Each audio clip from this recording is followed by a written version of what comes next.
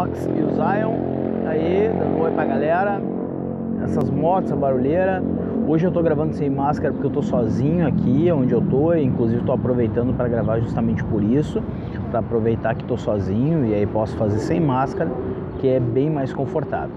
Bom, hoje a gente vai continuar na série, não sei se é uma continuação, mas enfim, são casos de família.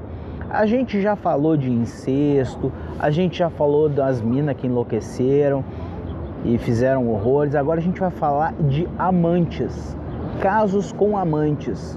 Segura aí, olha só.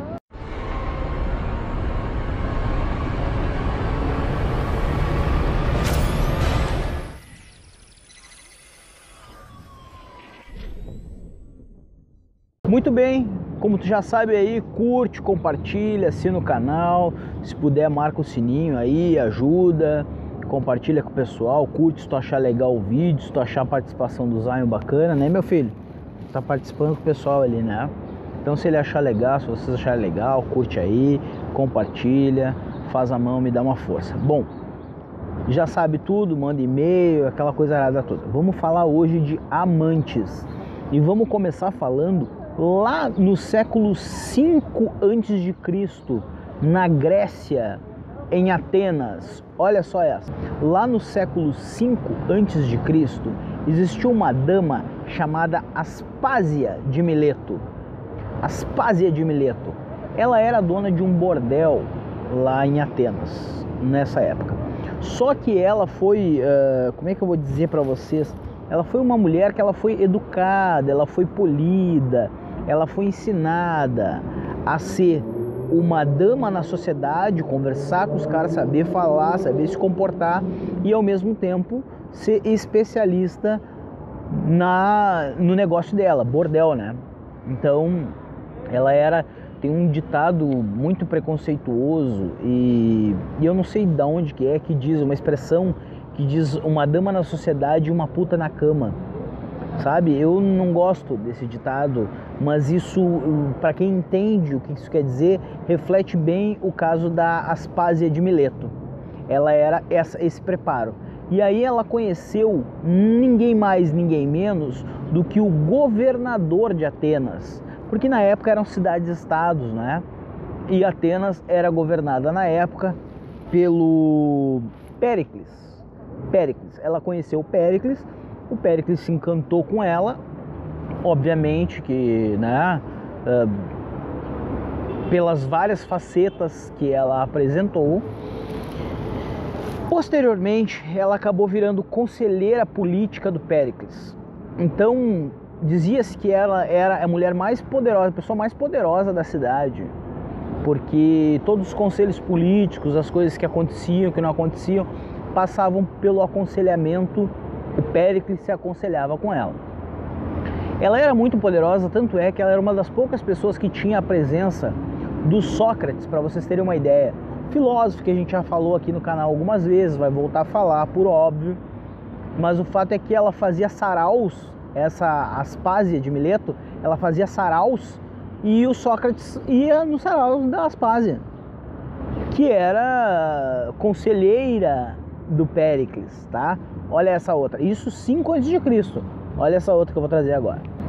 Ainda nessa pegada de amantes, agora a gente vem para mais próximo, para 1800, 1809, início de 1800, 1810, por aí, né? Nesse, nessa seara. A gente vai ver as datas direitinho para vocês. Bom, vamos falar do Napoleão Bonaparte cara da Primeira Guerra Mundial, aquele papo todo. Bom, ele tinha envolvimento, ele era casado, na verdade, com uma mulher chamada Josefina.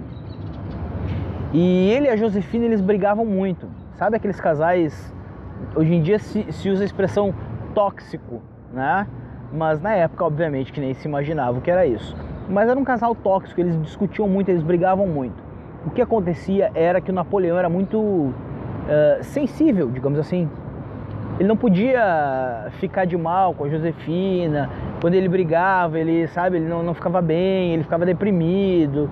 E aí quando ele se deprimia, a coisa não ia direito. Até porque tu imagina, o cara comandava um exército, né?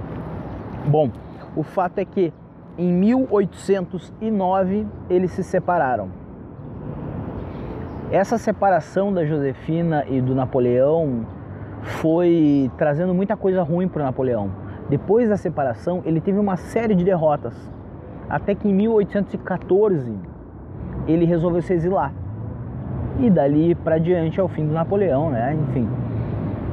E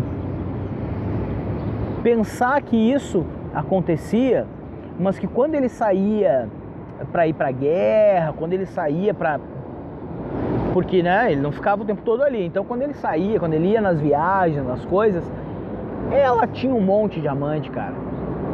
A Josefina fazia horrores, dava para Deus e todo mundo, fazia, acontecia e o Napoleão, ó, segurava a peteca, porque né, muitas vezes nem ficava sabendo, a maioria delas, óbvio. Mas o fato é que isso acabou pesando muito no futuro próximo do Napoleão. De 1809 para 1814, a gente está falando de cinco anos. E em cinco anos, derrocada total. Olha essa outra. Essa, essa outra já é bem mais moderna, é do tempo do Kennedy, tá? A gente está falando ali de anos 70, 1970, 1980, anos 80, anos 70, por aí, tá? Bom, o Kennedy, ele era um bom vivan, era um galanzão, certo? Só que o cara mais poderoso durante o mandato do Kennedy não era necessariamente o JFK, não era necessariamente o Kennedy. O mais poderoso era o diretor do FBI, um cara chamado Edgar Hoover.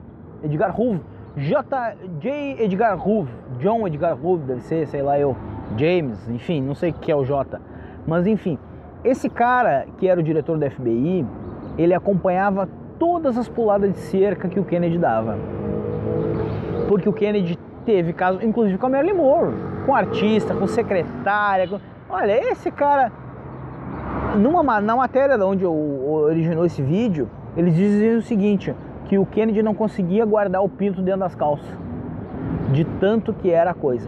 E aí o Hoover, né, o Edgar Hoover, que sabia de tudo sempre, era o cara que coordenava a boca. Ó, só um pouquinho, não pode, né? Eu tô aqui e tal, tô sabendo. Então ele meio que direcionava o leme do governo. E agora, para fechar, uma mais atual, que é a do Bill Clinton. Isso nós estamos falando aí de 2006, 98, final dos anos 90, início dos anos 2000, tá? O Bill Clinton, que era presidente dos Estados Unidos, teve um caso, ah, não sei nem se teve um caso, tá? Ou se foi só uma, uma relação sexual ali naquele momento, um momento, não sei nem se chegou a tanto, mas enfim, o fato é que o Bill Clinton não se separou da esposa porque ele acabou vindo a público, falando a real e tal, tudo bem, vamos se ajustar, foi um erro e tal, tudo certo. Em 2016, sei lá, quase 20 anos depois, a esposa do Bill Clinton, a Hillary Clinton, se candidatou à presidência. E durante a campanha, uma das coisas que martelavam muito a Hillary era justamente nesse caso do adultério do Bill Clinton. Bom, a Hillary Clinton acabou perdendo para o Donald Trump. E aí eu já não sei realmente se o fato dela ter perdoado o marido foi uma coisa ruim. É dispensar. Bom, Curte aí, me dá essa força, compartilha, manda para alguém esse vídeo, indica, assina o canal, marca o sininho, faz toda essa mão, manda teu e-mail para cá também. E é isso aí. Valeu?